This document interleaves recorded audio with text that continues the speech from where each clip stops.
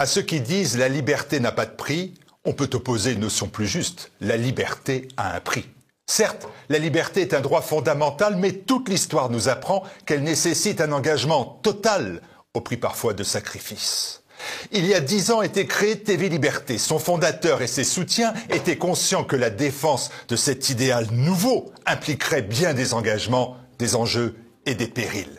Dix ans plus tard, les défis ont été relevés avec succès. TVL, contre vents et marées, insultes et censures, a joué pleinement son rôle, assurer la liberté de l'information en France.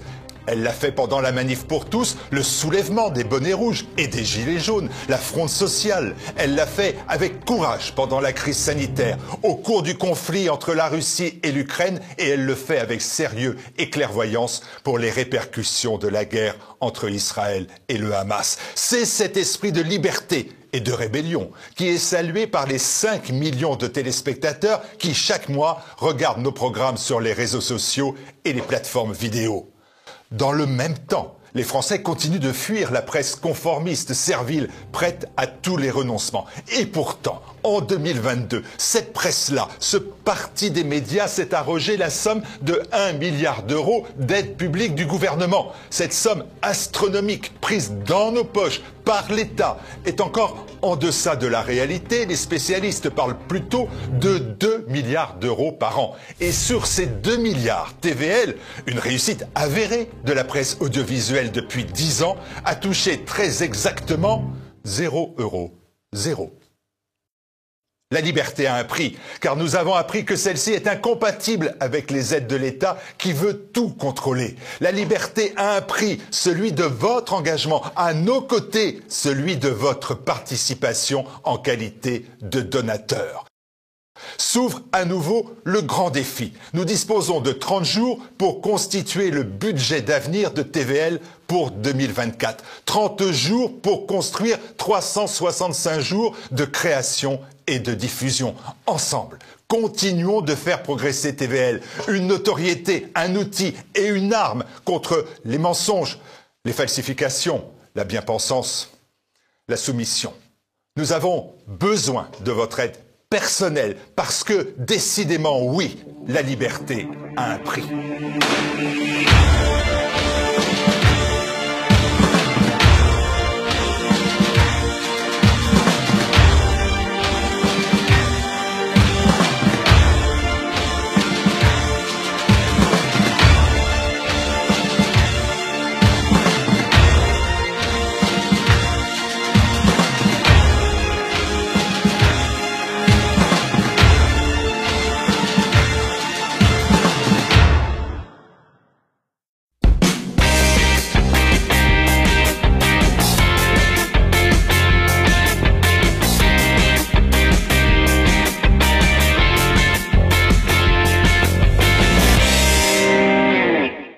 Amis de TIDRT, bonjour, bienvenue, heureux de vous retrouver euh, après deux mois, euh, deux mois pour euh, évoquer le dernier numéro d'éléments. J'ai le plaisir de recevoir autour de moi des gens que vous connaissez, pour certains je me tourne d'abord vers François Bousquet. Bonsoir, bonjour François. Bonjour Olivier. Euh, rédacteur en chef d'éléments. Euh, Rodolphe Carte, maintenant bien connu de nos des téléspectateurs et des lecteurs d'éléments, hein, puisque vous êtes devenu une plume importante de notre de notre revue. Déjà deux livres à votre actif. Nous parlerons en fin d'émission de, de votre dernier livre que je présente tout de suite. Feu sur la droite nationale. Réponse à Daniel Concersano et aux identitaires. J'ai le plaisir aussi de recevoir Patrick Luzinki, notre directeur artistique. Bonjour Patrick.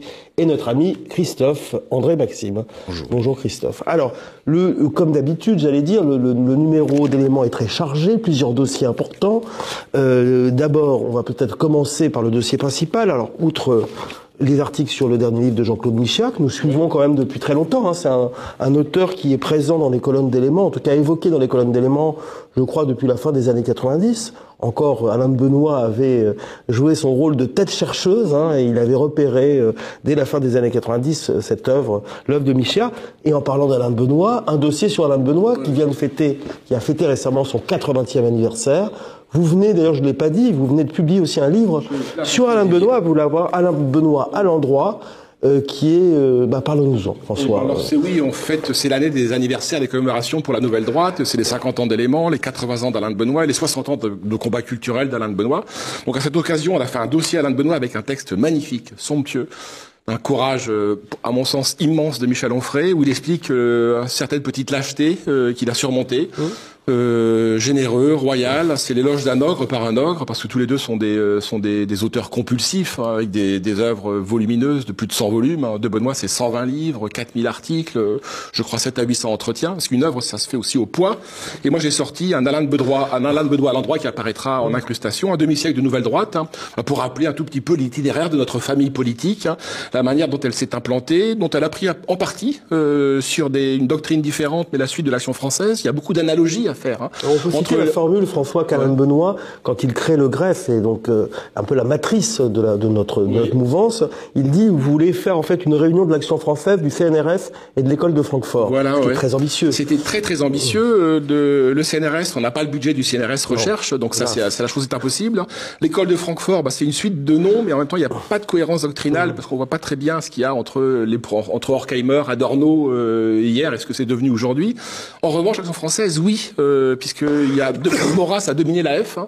De Benoît domine la nouvelle droite. Hein. Il y a un Maurras euh, fédéraliste, provincial, athénien, au fond assez proche de De Benoît. De Benoît, je pense qu'il est beaucoup plus proche de Georges Sorel et d'Ernest Renan, dont on parle dans le dernier numéro. Euh, mais quand même, il y a beaucoup de points communs. On s'est installé dans la durée depuis 50 ans. C'est un intellectuel individuel, tout court, mais aussi un intellectuel collectif. Le collectif, c'est nous, Nouvelle Droite, c'est nous euh, le plus d'éléments, c'est nous sur ce plateau.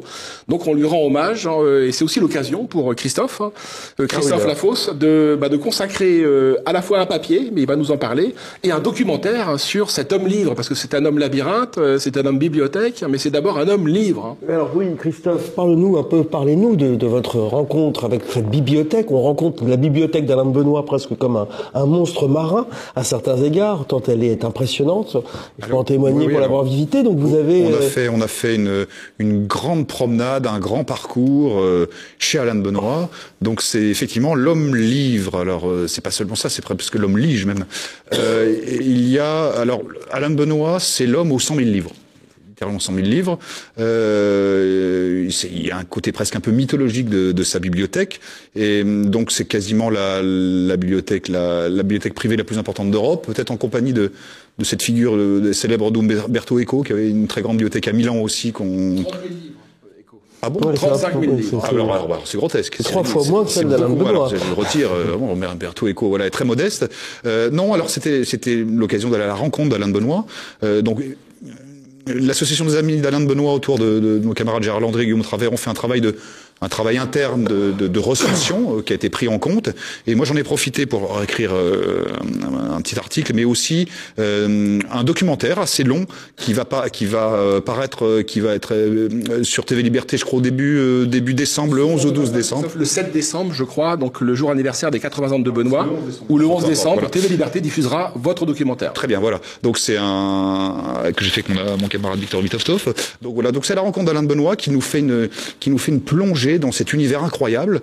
Euh, nous sommes littéralement entre le, chêne et l'écluse. Il a deux maisons. Sa maison principale est du côté des forêts de chêne de Versailles, et puis euh, euh, où il y a une présence d'arbres chênes qui est un symbole à la fois d'enracinement et d'élévation. Et sa bibliothèque principale, qui est la plus grande dans ce domaine du chêne, est une espèce de, de, refuge extraordinaire qui est un mélange de, de, de, de blocos cette passerelle et on plonge vraiment dans une espèce de dédale euh, euh, à la fois tentaculaire, euh, un, un, rhizome fou et foisonnant où se succèdent les, les, les, les, les thèmes, les livres avec des nombres 3000, 4000, 5000. Euh, on a l'impression à vous écouter qu'on est dans une nouvelle de, de Georges Louis Borges. Alors, alors, euh, et, alors on est, et on est presque plus exactement dans précisément une nouvelle de Jean Co, qui était un grand ami d'Alain Benoît. Il y a d'ailleurs ce que l'on appelle un mur Janco, où il y avoir 4000 ouvrages de Janco. Et Jean, et Janco, ils ont, ils ont été liés d'une très grande amitié à Alain Benoît et Janco. Et Janco a été invité dans, dans, dans, dans, dans cette maison. Donc la bibliothèque est en sous-sol. C'est presque un, un, investissement clandestin, de, voilà, de rhizomatique. Et effectivement, euh, Janco, pour se moquer gentiment de, de la bibliomanie dont parle, dont parle Alain Benoît, fait dans une de ses, dans ses recueils une nouvelle qui s'appelle La maison bibliothèque et la grande bibliothèque. Voilà. Alors on peut détailler légèrement. Il y a beaucoup, de, il y a un rayon de sciences politiques Évidemment, il y a une grande partie histoire politique récente de l'Allemagne, mais il y a une, une foultitude, une, presque une fusion de choses. Beaucoup de littérature française du XXe siècle. Vous avez de la proto-histoire européenne, un rayon du Mésil. Vous avez effectivement le plus grand fond bah, mondial de Carl Schmitt, puisque voilà. Et Alain Benoît, c'est une rencontre qui est assez émouvante, puisqu'il nous parle de son enfance, de son rapport un peu compulsif à la, à la, à la collection, puisque c'est un grand collectionneur. Euh, il se livre un peu, il nous avoue qu'il veut aussi être un passeur, un transmetteur de choses un peu oubliées. Il nous parle de sa passion physique du livre, qu'il veut sentir personnellement, euh, tourner un peu en dérision l'époque l'époque des écrans. Il veut, il veut sentir le papier, le toucher, l'annoter, sans respect pour le livre-objet. Et puis, c'est un c'est un passeur et on, pénètre là-dedans avec une très grande émotion puisque on est face à, un mur tentaculaire et très impressionnant, avec une sentimentalité extraordinaire de une grande histoire de l'Europe et du monde, euh, voilà, avec euh, avec euh, énormément de choses, énormément de choses. Et donc on le verra un petit peu en sa compagnie. Euh, Janco évidemment est présent. Il nous il nous montre une dédicace des, des deux étendards euh, euh, signés au jeune homme qu'il était. donc plein de choses qu'on qu'on va découvrir à la fois dans le journal et puis sur TV Liberté très prochainement. Le 11 décembre, je crois. Hein, le 11 décembre. Rappelons qu'il sera entre le chêne et l'écluse, à la fois l'enracinement et le passage, la diversité, la transmission. Ben écoutez, merci Christophe pour cette très belle évocation de cette bibliothèque, de ce monstre marin. On va passer peut-être à la suite d'ailleurs, parce que ce, euh, ce numéro ne parle pas que d'Alain de Benoît. J'aimerais d'ailleurs, puisque c'est quand même l'actualité la plus brûlante, euh, nous avons voulu porter, euh, avoir un regard sur la situation, le conflit, l'éternel conflit entre, entre Israël et la Palestine et vous avez interrogé Henri Laurence. Présentez-nous un peu Henri Laurence, je suis pas sûr, alors moi je le connais, c'est un grand professeur, je crois qu'il a la chaire d'histoire du Moyen-Orient au Collège de France, Exactement. une grande personnalité de l'histoire française. C'est un ancien professeur de l'INALCO, c'est un de nos derniers grands orientalistes, hein. il y a une très grande école d'orientalistes français au XXe siècle, je pense que c'est le dernier. Euh, il s'assoit sur la légitimité bien sûr du Collège de France, puisque le Collège de France c'est euh, l'institution au-dessus de l'institution, euh, c'est le poste le plus prestigieux pour un enseignant et un universitaire aujourd'hui en France. Hein, et il nous fait un sur 150 ans, sinon même plus, hein, puisqu'il remonte jusqu'à la Reconquista et au départ des, euh, des Juifs, euh, des Juifs d'Espagne, qui vont petit à petit euh, euh, rejoindre la Palestine. Une longue histoire de la Palestine hein, euh, pour montrer les enjeux, les enjeux territoriaux, les enjeux d'expropriation. Euh, c'est un point de vue assez équilibré euh, qui tranche euh, avec ce qu'on entend en particulier dans l'univers médiatique des droites, hein, quotidiennes et télévisuelles. Hein. Donc c'est un entretien très courageux, moi je trouve passionnant, qui va vraiment au fond des choses, hein, qui explique la racine du mal hein, et qui montre qu'on est au cœur désormais de l'insoluble, ce qui n'était pas le cas il y a encore dix ans, mais désormais on est vraiment au cœur de l'insoluble.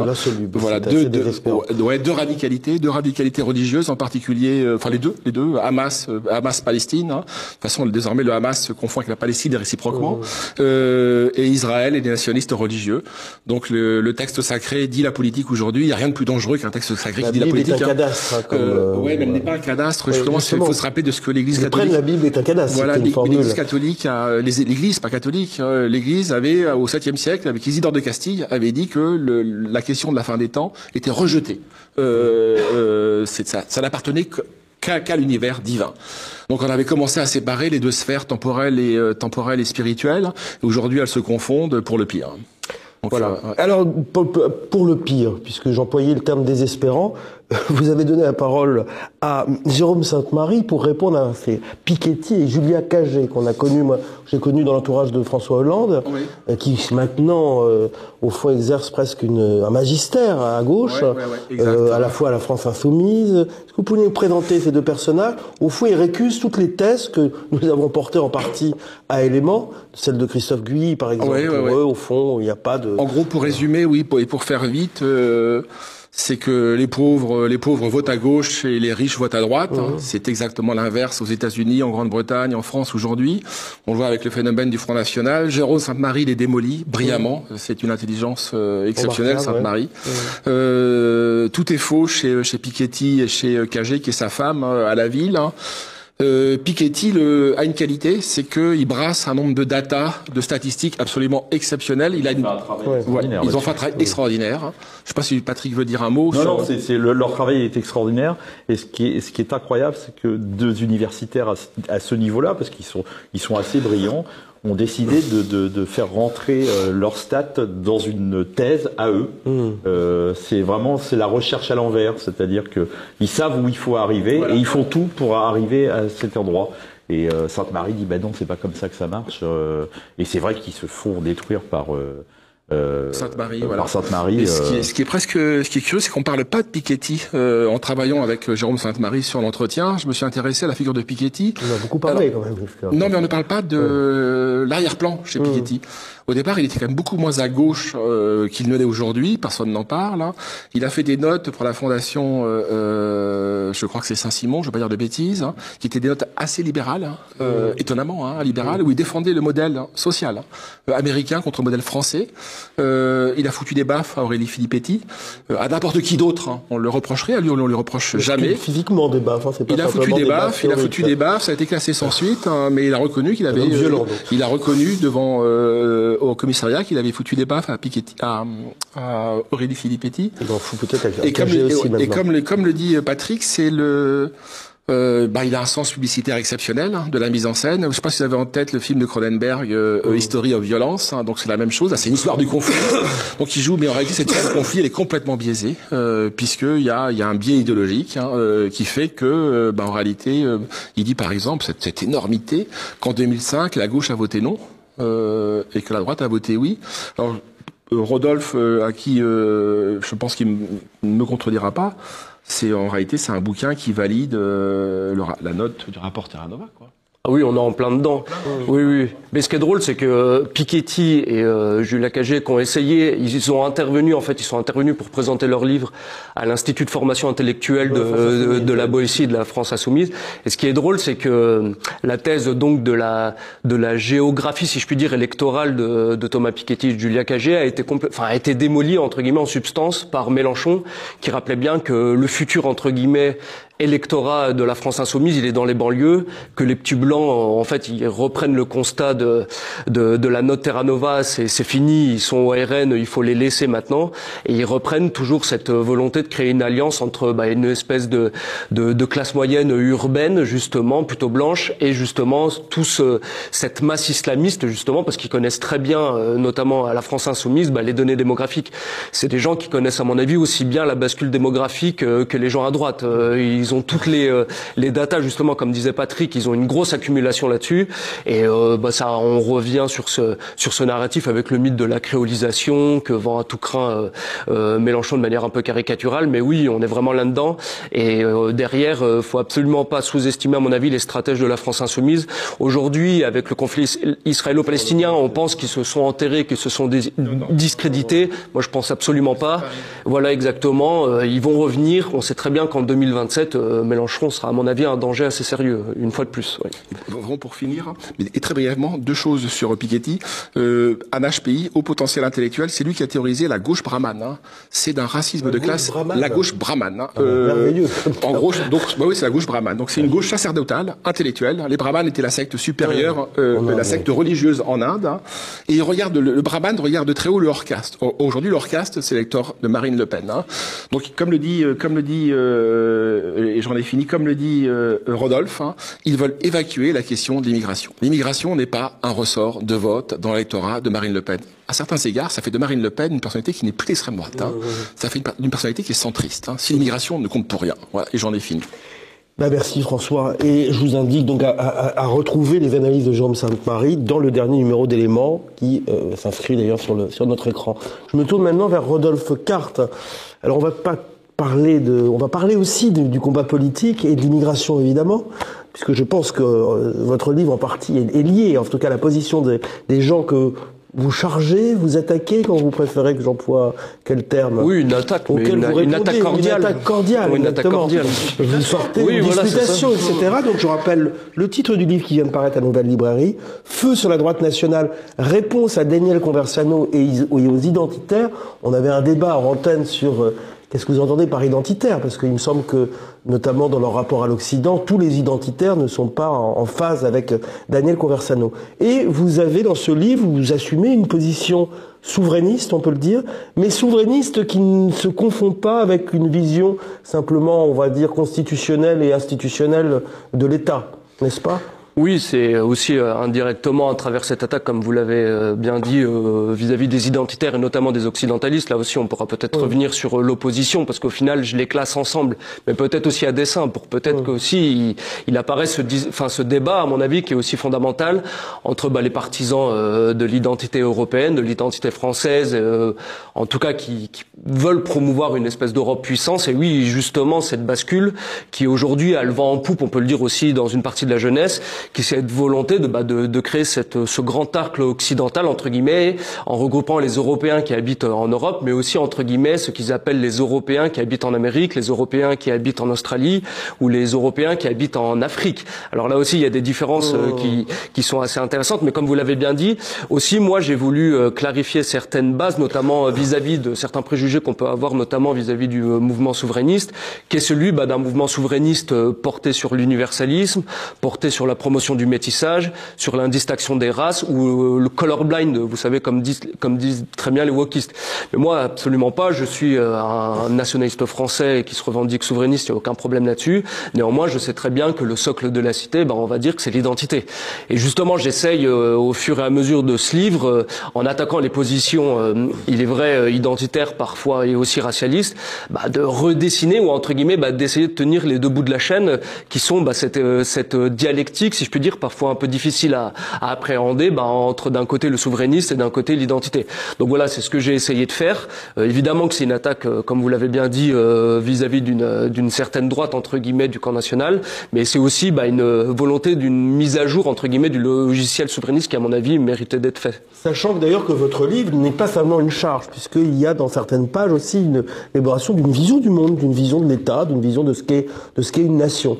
On va citer la phrase de Bainville, la France n'est pas une race, c'est mieux que cela, c'est une nation. D'abord, ça ne veut pas dire d'ailleurs que vous refoulez complètement la question, la question ethnique. Non, du tout. Et en plus, c'est drôle, c'est qu'aujourd'hui, cette phrase que vous venez de citer de Bainville, euh, au côté identitaire, on l'appelle la sourate. Euh, vous savez, Bainville, comme on pourrait la réciter un je peu. Cité voilà, exactement. Et non, euh, moi, je pense euh, aussi, c'est un appel entre guillemets à une, à une certaine, à un certain camp souverainiste, parfois, à mon avis, un peu naïf sur les questions élitaires.